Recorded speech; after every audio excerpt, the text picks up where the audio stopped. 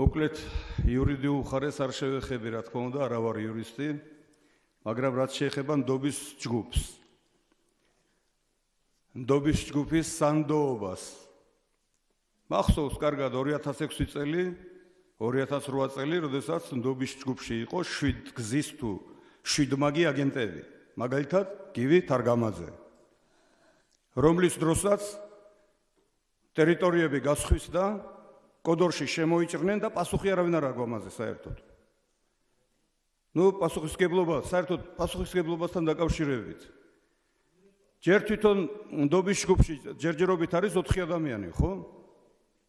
მეხუთეს რატომღაც ჩვენ გაშავებული ყავართ, ყავართ ყველგან.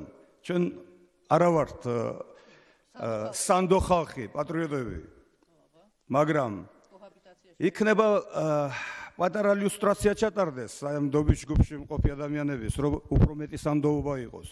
რა თქმა უნდა, ვეთანხმები იმას, რომ აუცილებლად სუსი უნდა აკონტროლებდეს მოსმენებს.